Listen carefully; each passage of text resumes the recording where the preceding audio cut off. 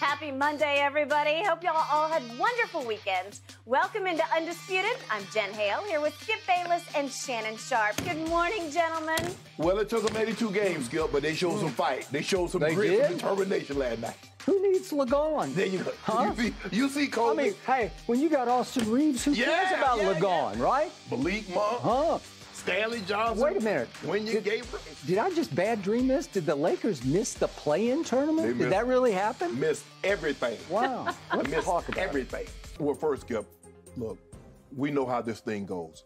Anytime a team doesn't meet expectations, someone has to go. Mm-hmm. And normally the first to go is the head coach. Sometimes the head coach and front office goes along with the head coach. I just didn't like the way the Lakers handled that situation. They leaked this information to Woj. Skip, they could leak this, this information this morning. That man should not have had to answer those questions. Well, they wouldn't leak it. They would just announce it. Yeah, right. Yeah, because uh, I think they're all going to do big media sessions. Correct. Lincoln, I think LeBron is. Right. But they could have all they could have handled this this morning. Absolutely. For that, even if they had lost the game, last night was not the time Mm-hmm. for him to ask answer questions about his job. He could have answered those questions. You're gonna have an end of uh, end of season press Mm-hmm. conference today.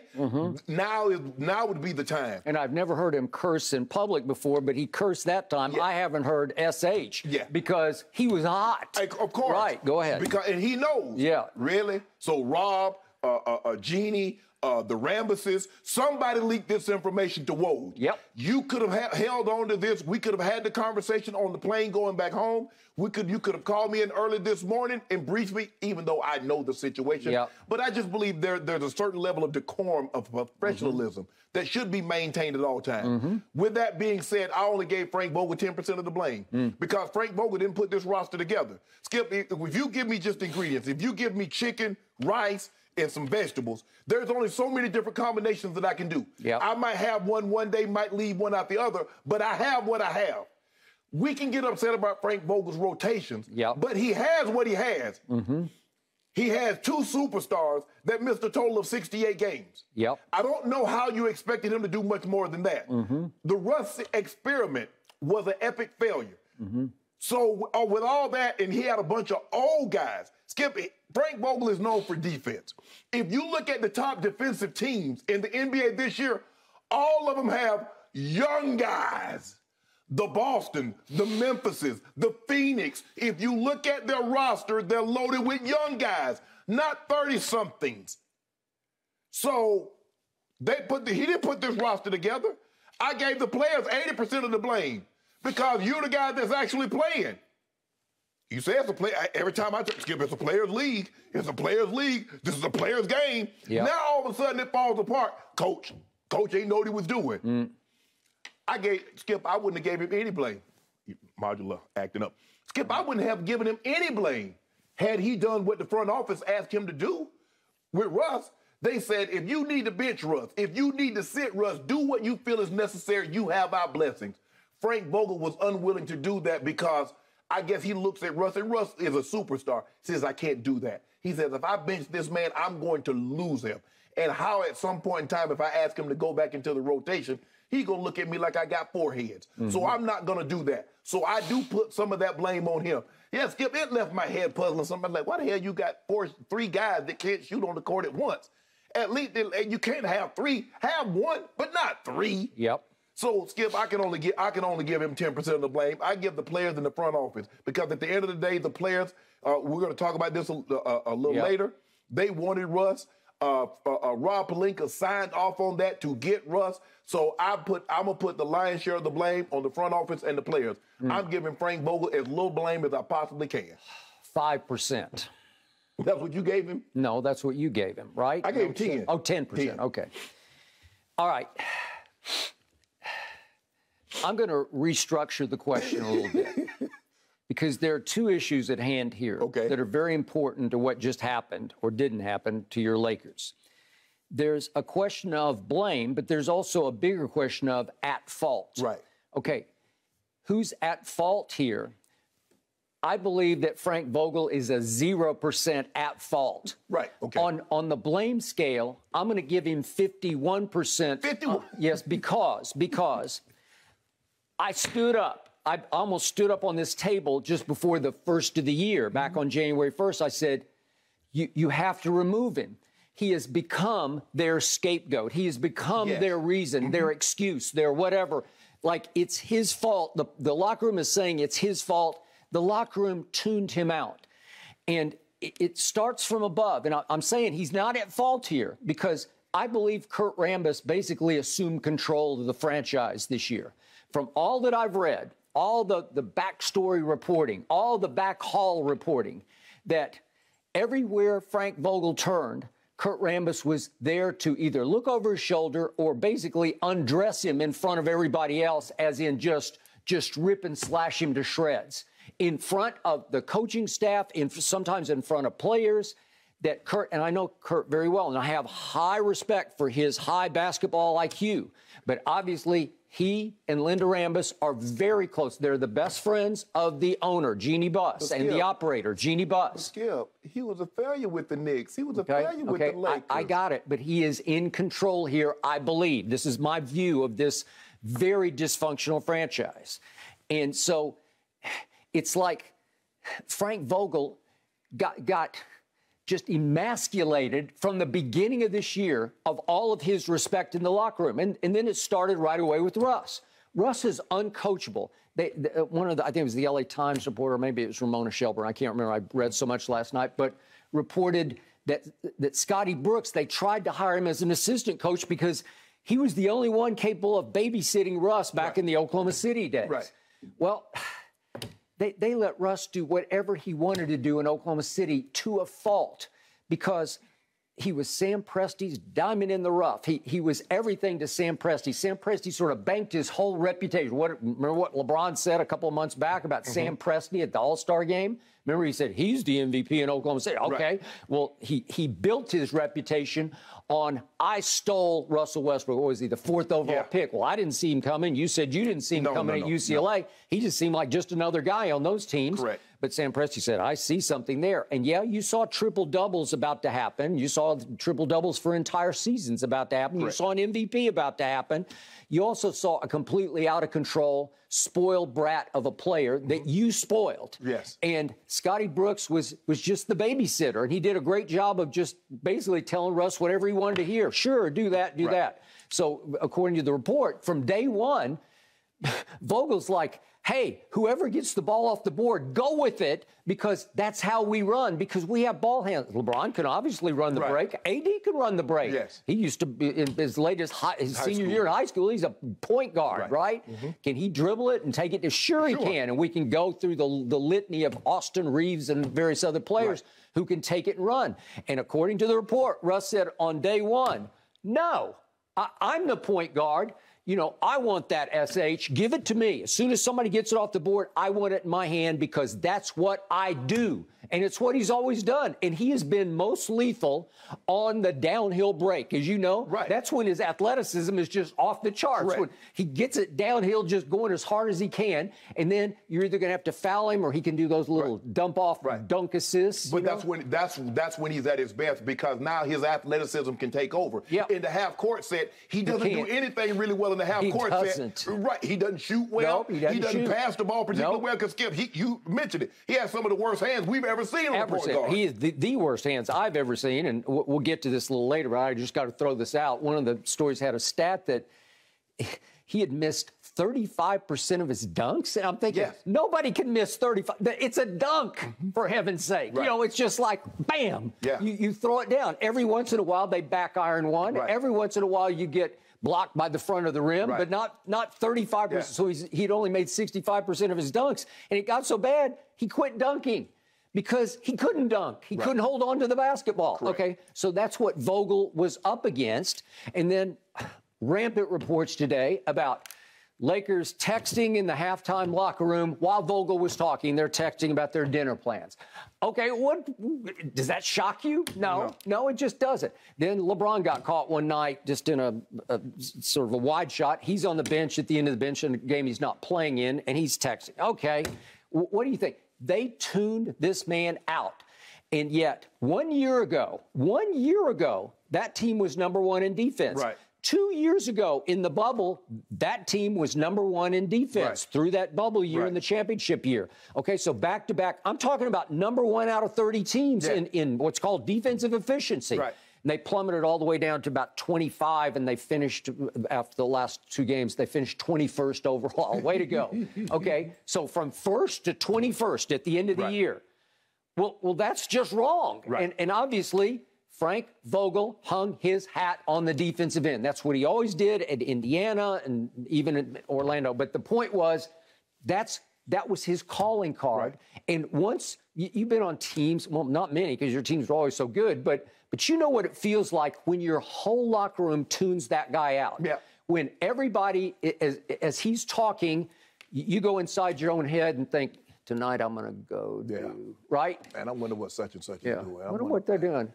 I wonder if uh, maybe I should call that girl that I haven't called in a while, right? That, that kind of thing. A lot of you know? things go through okay, your head. a lot of things are going through your head, except what he's talking about, Correct. because his voice was falling on deaf ears. Right. So again, I, I'm not saying any of this is his fault, but the blame, it, it got so bad that I thought, okay, Jeanie, if you want to save whatever you have, because on paper, I'm going to remind everybody, preseason favorites, odds makers favorites in the West. The betting favorite overall, there was a big story about this yesterday. The pre, the, the LA Times story had it.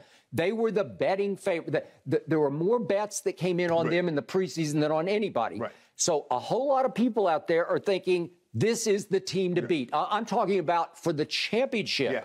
Okay, so you start with your bar as high as it can go. Correct. And I'm thinking, okay, Jeanie, on paper, it still's got a chance to click if you can get these people healthy, such as Anthony Davis, and it looked like at some point he might come back. And I'm thinking, okay, you have to get Vogel out of there because clearly, it, not not only are they quitting on him, but it's even worse. They're just tuning him out. Right. They're not doing what he teaches, which is on the defensive end. Well, to your point, are they just too old to play defense anymore? Yeah. Maybe you, you could are. argue that, Yeah. but but I didn't see the energy. I didn't see the desire. I, I didn't see any just just flat out old fashioned want to. Well, Skip, I, I I didn't read the story that you read about them texting because if they did that, that's disrespectful, and you deserve exactly what you got. You deserve to be the 11th seed because you don't do that. I I, I get it. Why can't you like after the? Where are you going after the game? You're in the locker room. You're going to be icing. You're going to be icing your knees, icing your ankles. Okay, why can't y'all? Okay, guys, what what what what, what you got going on? Why is that so important during the halftime? That's the time that you make adjustments. That's also the time that you have those big leads that you end up blowing. Because y'all bull jabbing around on your Did phone. they? If this is true, this is so embarrassing. Mm-hmm. This is embarrassing. Now, I, I will give Frank Vogel some credit, Skip. He did lateness later in the season try to salvage it by benching Russ in crucial Okay, situations. and I believe that was he he was fighting with Rambis and Pelinka Right, over that right. back and forth. Because at the end of the day, Skip, do it, do what you need to do. Do what you need to do. Then when he does that, he gets fired. Well, that was the that was a coaching decision. Yeah, I mean, Now, I, I think they wanted him to Of course bench they- before he did bench Russ. That's easy to say, Skip, because Yeah. guess what? You're pulling the strings. Yeah, but you don't. You, you don't actually. But you you don't actually see the puppeteer. Frank Vogel is the puppeteer, but there's somebody pulling his strings that's higher up than he is. That is correct. So when it comes down to it at the end of the season, they're gonna say, "Well, Frank did what Frank thought." No, you told him to do this. Eh, Skip, until Anthony Davis can stay healthy, more than 40 games. Until LeBron cannot miss, LeBron has missed like 80 games in three years since he's been with the Lakers. They're not going anywhere. You can't surround them with enough talent, given the fact that they're they're they're, they're max players. Yep. If those guys can't stay healthy for any length of time. Now we've seen AD's history is that he has been unable to stay healthy, with the exception of that one year in LA, the first year, and then they got a five month hiatus in between when they last played and they started playing again. That is true. So until that's resolved, you're not going anywhere. Okay, so do I think Frank Vogel's a great coach? No, I think he's a pretty, Pretty good, good, coach. I agree. And I promise you, he will soon get another job elsewhere because it's just two years since he won the bubble championship. Correct. Okay, so I think he's highly regarded. Is he a star type coach? Does he have aura about him? Does he have charisma? Does he have a mystique? He has none of that. He's just a guy to me. But right? Skip, the thing is, no matter what, if he's a guy, he's a star. The star player's got to be willing to be coached. and they can't do things because the other guys, because Skip, other guys see LeBron and AD, whatever they see them do, they feel they feel comfortable in doing it themselves. They don't look at like, man, LeBron is tenured. Bron has done this. AD is the top said They don't see that. They say, well, hell, they breaking the rules. Hell, I'm gonna break the rules too. That is true. You have to set the standard. That's what I skip. I've always tried to do that when I was in the locker room. When I got to a position that I knew people, guys were looking at me, Yeah. I tried to behave a certain way because I never mm-hmm. went. Well, hell, Sharpe doing it. Well, he ain't. He's sleeping in the meetings. Yep. He coming in late. He overweight. You have to set an example of positivity, of doing things the right way, because it's so easy to do things the wrong way. And sometimes you can do things the wrong way, Skip, and have success, and you're like, well, what the heck? But those young guys are watching. I watched those guys, Skip. You tell you watched that game in its entirety. You tell me when you ever seen the Lakers play as hard as they played last night. They were down nine points with a minute to play in the ball game They were. And got it to overtime. and got it to overtime, mm-hmm. hustling, scrapping, making shots. Skip what makes it so impressive. Malik Monk was in, was on fire and they took him out. Is that hey, uh, uh, uh, Reaves, you and, and Stanley Johnson and, and, and, and, and Ellington, bring it home. And they went and got the game in overtime and then did what they did in overtime. You're fired up about that Yeah, game. because I see how these young guys, when there's when there's nobody, when they're not left like, well, Bron will do it or AD will do it. When they say, man, we got to figure this, you know what, out for ourselves. Man, how we get up out of this? Just play hard. I remember it's against Denver's like G League team. Hell, what the hell you okay. think they were? Okay. McClung is in the G League. Austin Reaves probably should have been in the G Okay. League. Gabriel's in the G League. Mm-hmm. Stanley Johnson in the G League. Wayne Ellington is a bad but Skip, he only played probably 15 games this year. And they brought they brought uh, uh, they brought the uh, Jones. I think that I forget his name. Skip. They brought he just came up from the G League, so it was G League versus G League. But they did play their tails. They played off. their tails Yeah, off. They, they did. I, I give you that. And it was a pleasure to watch. And Vogel was sky high after the He was- game. He, he said, I, I want to revel in this. You know, I'm putting words in his mouth, but he said, I want to. I want to enjoy this right, now because I really appreciate how hard they played. Because he knew, I think, in his heart of hearts, that's my swan song. Yeah, it was over. And and we went out the right way. We played the right way because we played hard. Did you see how fired up Skip? Did you see how fired up the bench were Oh, when the guys were doing things? And then when they trapped Forbes in the corner and Austin Reed stole that ball, did you see Frank Vogel like? going crazy. I know. No, I, I got it. Okay. So the problem Frank Vogel was up against this year was from the start, the star power went uh, like over the edge uh, into the abyss of, of veteran, like t- uh, borderline two old stars because all of a sudden you, you bring back Carmelo and Dwight, and then you add Russ, and you got an aging LeBron and a hurt, you know, always hurt AD. And, and all of a sudden, Vogel's overmatched with that group because they're he, he's They're too oh, they're veteran players than he's us. too he's too small. You, you know what I mean? He's Yeah. he, he's too he, he's even small-minded in how he approaches. He he's a grinder. He gets in early and watches tape and all that. Well, it, it worked in the bubble because LeBron was the leader of the team in the bubble, and LeBron could live up better to being the leader of the team on the court. I told you, Father Time tapped him on the shoulder for the first time this year. He couldn't carry the team the way he used to. I don't think he could close the way he used to. And all of a sudden, it's a lethal combination for the head coach, which is why I said, well, let Fizdale do it because LeBron respects Fizdale. Let somebody else change the voice in the Guess locker what, room. Skip? There were no plans to be made. Hell, you couldn't mm-hmm. go anywhere. What mm-hmm. plans were you making? Who's doing laundry tonight? Hmm. Who's ordering takeout? You couldn't go anywhere. There was nothing to do. In- no in one the to bubble, go. yes. correct. There was so nowhere to it, like you said, I, I understand it was a grind because you're there for 100, a 100 days. Mm-hmm. Yep. And you can't go in or out. There's only limited amount of things. There's only so much fishing, so much bowling, Yep. so much table tennis, video games that you can play. Yep. And I give those guys credit for being able to maintain their sanity Mm-hmm. Yep. and get the ball across the finish line. That is correct. But this, Skip, you And- can't and have this. By the way, who else was there in the bubble? Rajon Rondo was there. And there's a new report about speculation that maybe Juwan Howard would be hired as the Lakers coach with Rondo as an assistant coach. Well, I believe Rondo was the assistant coach in the bubble because he's the one guy, if you had him in the locker room this year, he's the one guy who He would was there. challenge. Huh? We- they Well, traded for a him. while. But I'm, I'm just saying, down the stretch, Right. when you really needed, up, you know, when it was time for him to step up and take the team over the way he did in the bubble. He Right. and he made big shots, and I think he made big off the court shots Yeah. too for that that team. Well, I think they the thing needed is, that voice. If, if that's going to be the case, Skip, Rondo, the, the I guess the word I would use is mercurial. I don't know if you can be a head coach or be an assistant coach with those kinds of ways. Maybe assistant you could be. I don't know if the cons- inconsistency of being the head coach Right. would work. But the point is, you've said from the start you like Mark Jackson as the the Yes. potential next coach. The problem with Mark, and I think I know him well enough to make this statement. I, I just fear he'd last about a day in this organization because this is tough now. Th- This is you got to st- walk. You got to be you got to be you got to be willing to be your own man. That's what Phil Jackson was so was able to do so well. Pat Riley was able to do so well. Guys that have had success because you you this is a mom and pop shop, and they want to look over your shoulder to see what else you're doing. I agree. And they want to have they want to have they want to infiltrate your staff by putting hand pick people on your staff They so they can keep them abreast of what you saying and what you doing. That is correct. And and Ty Lue said, hell no. Hey. I'm coming here to coach. I'm coaching everybody, not just LeBron, and I'm gonna fill out my staff to how I see fit. Hey, you want to talk about his own man? That would describe Mark Jackson. Yeah, ab- absolutely. Are you sure he would be able to coexist with Kurt Rambis and ultimately with Pelinka and Jeanie? I don't.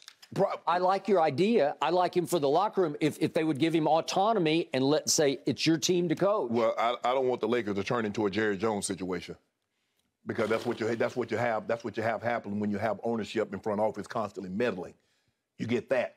And even no matter how great of players that you have, when you constantly meddle, you never meet you never reach the potential that you could have if you Yeah. get your butt out of the way. I, I got it, but it's almost like Jeanie has assigned Kurt Rambis to coach the coach. Right. Jerry used to say, Jerry Jones in his early days, my job is to coach the coach, as in Jimmy, and that finally just Right. blew up in but Jerry's Skip, face. I, I, I'm sure that a coach wouldn't have.